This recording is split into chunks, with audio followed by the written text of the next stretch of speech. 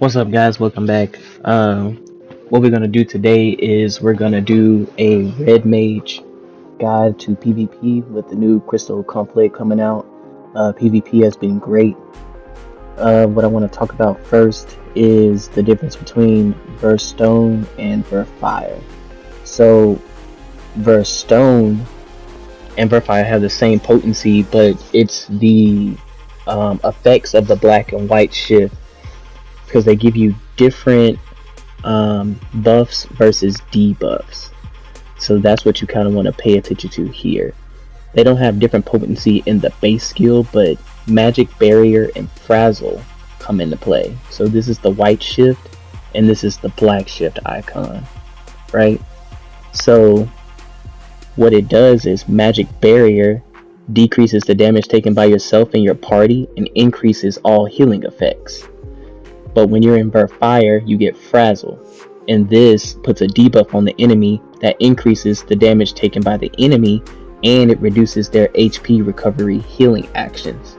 So that's the first main change in uh, using Red Mage. So you want to be conscious of that.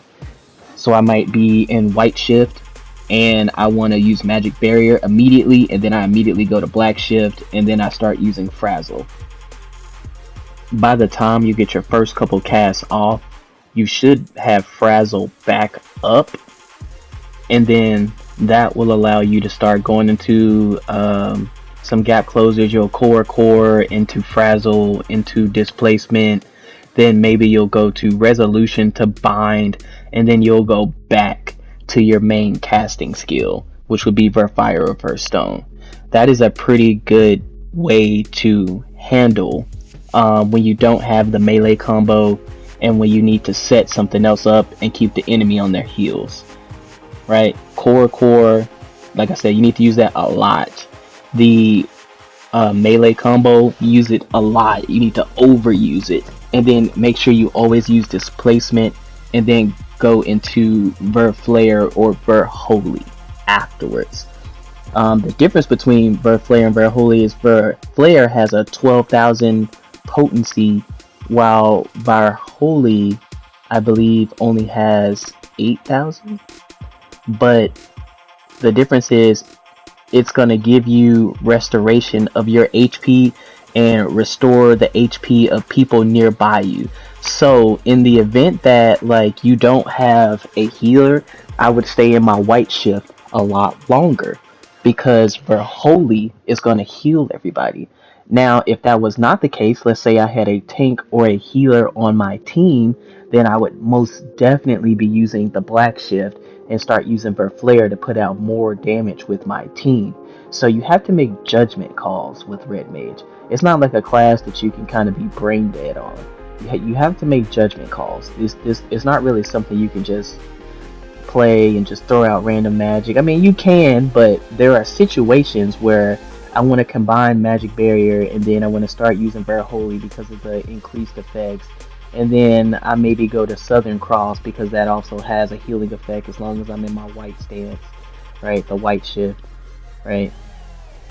So combining Ver Holy and Magick Barrier is extremely powerful for the red mage, right?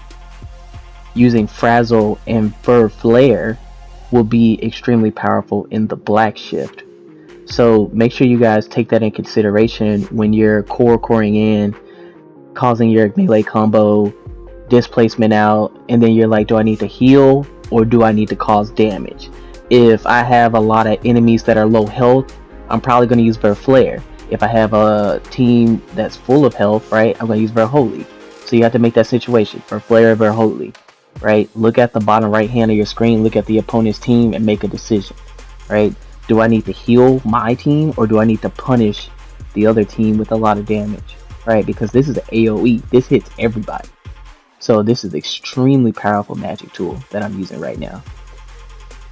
So one of the other things I want to talk about is Southern Cross because it changes based on what shift you're in, right? So if I'm in my white shift, my cure potency is doubled and if I'm in my black shift, the damage potency is doubled. And like I said, that just comes from you being situationally aware and deciding what your team needs more. because you are a pretty big deciding factor, right? You get the best of both worlds being a red mage, right? So same thing applies, but make sure if if at all possible, I would tell you to use the black shift when you're using Southern Cross, just because it does so much damage, right? It will it does so much damage because it actually, if the target is standing in the cross's center, it will receive the effect of this action twice. And you can, like, people think Dragoon and Samurai have broken damage. Like, yeah, stand stand in that for a second. 80% of your health bar gone. Easy, a easy 80%. It's not an insta kill. Don't get me wrong. They need to be a little damage. It's not an insta kill, but 80% gone. So as a red mage, you need to be sure that you are the decision maker, right? You need to be able to see the dragoons and the samurais who can one shot, because that's why people play those classes. You need to pay attention to the limit breaks in the bottom right hand of the screen, and then make a decision of if you need to stay in your white stance for Verholy because you need to start healing people, making sure they survive, because sometimes you can run into overtimes where the crystal just needs to be like you just need people on the crystal. So Verholy would be the perfect time to use that. Um, other times you would need to use Verfire. I'm sorry, Verflare, and you need to cause a lot of damage. If you have a nice sized party, maybe like three people, maybe two people are dead, I'm flaring, right? But if I got all five people there and I just need to keep everybody alive, I'm 100% using Verholy. No, no questions asked about that. So I'm gonna try to take advantage of the training dummy while I have it. I'm gonna give you a few situations of how I actually do this, and you can use my videos that I've already posted if you want to see live gameplay of me implementing um, these type of strategies. But typically, um, I want to use a black shift. I've already used the white um, the white shift prior to when we were jumping down earlier off the platform and I'm waiting on Frazzle to pop, right? That's usually what I'm doing at this point. We're just talking beginning of the match strategy. So from that point forward, I'm utilizing uh, core core and displacement, right? I don't try to walk towards my enemies. I'm gonna core core, frazzle, displace out. Then I'm gonna judge by binding, right? I'm gonna use resolution and I'm gonna start judging. of course, when I start trying to explain this, somebody jumps onto the training dummy. Get away, get away, get away, get away. he saw me using the training dummy too.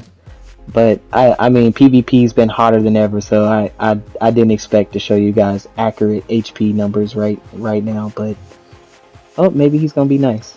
Maybe he's gonna be nice.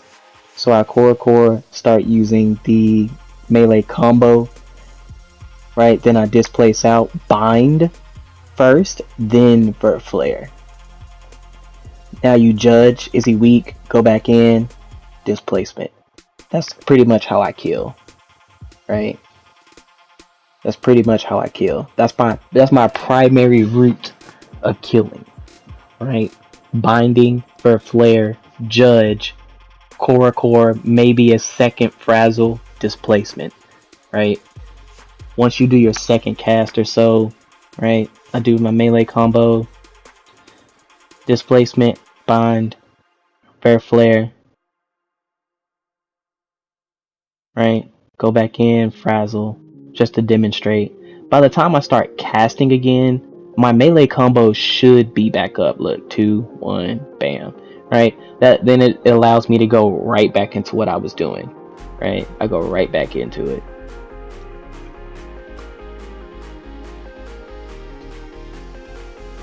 So as you can see, it's just a little rinse and repeat.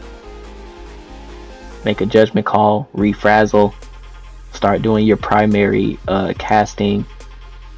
Then I can do a limit break as well, right? So just to keep you guys like on track. Um, so if at any point that gets disrupted, say you don't have a bind, right? I'm just gonna cast anyway, right? That's what I'm gonna do. I'm just gonna cast Verflare or Verholy anyway. If let's just say the bind wasn't right. Let's just say I messed up everything. It's all out of order. Right? So now I do Frazzle. Boom. I drop the melee combo. Right? See how it drops? That's a punishment, right? Because you didn't finish your melee combo. So now I don't have a bind. I lost my melee combo. I gotta wait for it to come back. Now I can restart. But the timers will be all out of order. That's okay. Just go ahead and Verflare, start your casting back, and then try to reset everything. So don't freak out if you can't resolution bind Verflare like all in one go. You can you can make it work. It's just not optimal. You know what I'm saying? Like it's just not optimal. Like I would probably try to cast and use what I got until resolution came back up. See, I, I can't bind Verflare anyway. I can't frazzle. Just start casting. By that time, you should be able to core core back in displacement. Maybe do the bind again later. Like it's it's not gonna be the end of the world, right? So at this point, I'm just like trying to figure out like, do I need to judge? Like, can I go back in? Can I use my melee combo? Do I need to pop out, use my limit break? These are the judgment moments when your timers are off, right? I don't have frazzle, I don't have bind, I don't have my melee combo, limit break, right? That's how I'm gonna kill. So hopefully this guide made sense to you guys and uh, you learned a lot and your Red Mage gameplay will improve significantly as always. But make sure to like, share, and subscribe guys. Peace. Check out the other videos if you want to see my Red Mage in action.